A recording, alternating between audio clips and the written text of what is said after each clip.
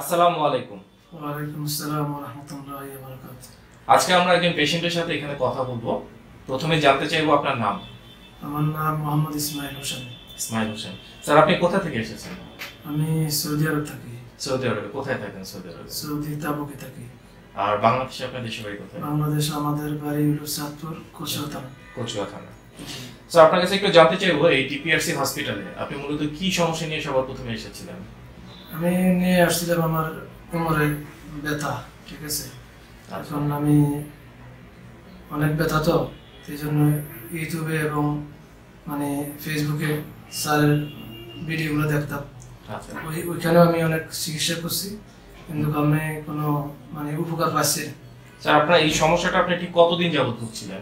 আমার দীর্ঘ চার পাঁচ বছর। গত চার পাঁচ বছর যাবত আপনি এই সমস্যাটা ভুগেছেন তো এই সমস্যাটার কারণে কি আপনি সৌদি আরবে বা আমাদের বাংলাদেশে কি কোনো ধরনের ট্রিটমেন্ট বা কিছু করেছিলেন এর আগে? আমি সৌদিতে ট্রিটমেন্ট করাইছি। আমি যে কাঙ্ক্ষিত ফল পাওয়ার কথা সেটা পাননি। সেটা পাইনি। এই জন্য আমি ছুটি নিয়ে আসছি। যে স্যারের এখানে ভিডিওতে এবং ফেসবুকে দেখছি যে এখানে অনেক রোগী নাকি ভালো হইতেছে। অপারেশন বিহীন ভাবে ভালো হচ্ছে ভালো হইতেছে। স্যার এই ডিপিআরসি হসপিটালে আপনি কোন ডক্টর সাহেবের আন্ডারে ভর্তি ছিলেন আমি ডক্টর শফিউল্লাহ প্রধান স্যারের কাছে ডক্টর শফিল প্রধান ওনার আন্ডারে ট্রিটমেন্ট করেছেন। আজকে কতদিন যাবত ট্রিটমেন্ট করেছেন? আজকে আট দিন। আট দিন যাবত আচ্ছা আট দিন যাবত ট্রিটমেন্ট করার পরবর্তী অবস্থায় এখন আপনার কি অবস্থা? এখন আলহামদুলিল্লাহ আমি সুস্থ। আছেন এবং অনেক ভালো আছেন। আপনার যে কোমরে যে ব্যথা ছিল সেই ব্যথাগুলোকে এখন অনেকটুকু চলে গেছে। আচ্ছা। স্যার আপনার কাছে জানতে চাইব যে আপনি গত চার পাঁচ বছর যাবত আপনার এই ব্যথার কারণে আপনি বিভিন্ন ধরনের ট্রিটমেন্ট বিভিন্ন ধরনের ডক্টরের কাছে আপনি গিয়েছেন। কি ধরনের ট্রিটমেন্ট করেছিলেন? আমি নিরু সার্জন দেখাইছি। বাংলাদেশের বড় নিউরো সার্জন আপনি দেখেছেন। বড় হসপিটাল আচ্ছা।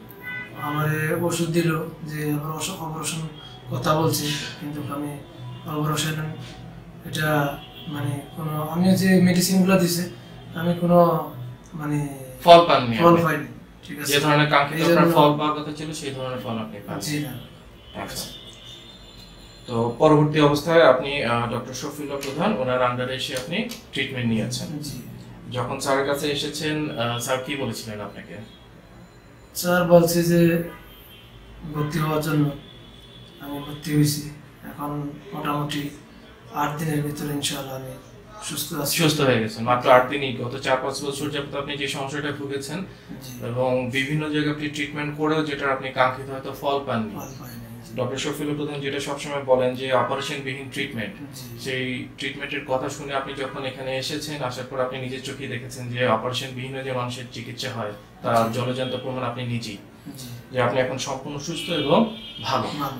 স্যার আপনার কাছে জানতে চাইব যে আপনি যতদিন এই ডিপিএস হসপিটালে ভর্তি ছিলেন এখানকার যারা ডক্টর বা নার্স বা ম্যানেজমেন্টের যারা ছিল আপনার যে ধরনের ট্রিটমেন্ট পাওয়ার কথা ছিল টাইম টু টাইম আপনি কি সবটুকু পেয়েছেন?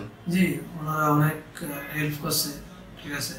এবং থেরাপি যেগুলো তাদের করণীয়। মানে যেটা বলা হয় যে অ্যাডভান্স রিহাব ফিজিও ট্রিটমেন্ট সেই ট্রিটমেন্টের সবটুকুই আপনি টাইম টু টাইম আপনি পেয়েছেন প্রপারলি পেয়েছেন এবং তাদের আন্তরিকতার কোনো অভাব ছিল না বলেই আপনি আজকে সম্পূর্ণ সুস্থ মাত্র আট দিনে। জি।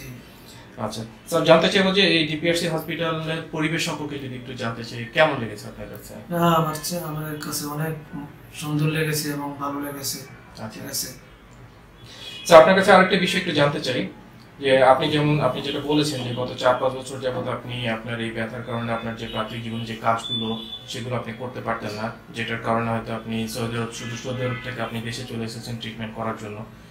তো আপনার মতো কিন্তু এরকম অসংখ্য রোগী আমাদের দেশের বাইরে এবং দেশের ভিতরে তারা ছড়িয়ে ছিটে আছে বিভিন্ন জায়গায়, যারা হয়তো এই ধরনের সমস্যাগুলোতে তারা ভুগছেন, কিন্তু কার কাছে যাবেন, তারা হয়তো সেটা জানেন না। আপনি যেমন ইউটিউবের মাধ্যমে বা ফেসবুকের মাধ্যমে স্যারের কথা জানতে পেরেছেন স্যার ফলোয়ার ছিলেন বলে হয়তো আপনি জানতে পেরেছেন। অনেকে আছেন যে তারা হয়তো ইনফরমেশনটা জানে না। এবং অপারেশন বিহীন যে ট্রিটমেন্ট হয় সেটাও অনেকে জানেন না। অনেকে আছে বিভিন্ন ভুয়া ডক্টরের কাছে গিয়ে তাদের সারা জীবনের যে সঞ্চয় আছে সেটা শেষ করে ফেলে কিন্তু তারপরে তারা ভালো হন না বা সুস্থ হন না। অনেকে আছে বিভিন্নভাবে প্রতারিত হন। তো আমাদের সেই সকল ভাই বোনদের উদ্দেশ্যে কি আপনি কিছু বলবেন দিক নির্দেশনা হিসেবে? আমরা বলব যে কোনো ভুয়া ডাক্তারের কাছে না যে ঠিক আছে যেন ডিপি ডিপিআরসি হসপিটালে। শফিউল্লাহ স্যার প্রধানের কাছে আসুক এবং এখানে ট্রিটমেন্ট ভালো ইনশাআল্লাহ স্যারে যদি স্যারের উসিলা ইনশাআল্লাহ আমাদের যে সমস্যা সমাধান হয়ে যাবে ইনশাআল্লাহ। কারণ আপনি নিজে এসে আপনি ভালো হয়েছেন এই জন্য আপনার নিজেরও বিশ্বাস যে তারা আসলে তারা অবশ্যই ভালো এবং সুস্থ হয়ে যাবেন।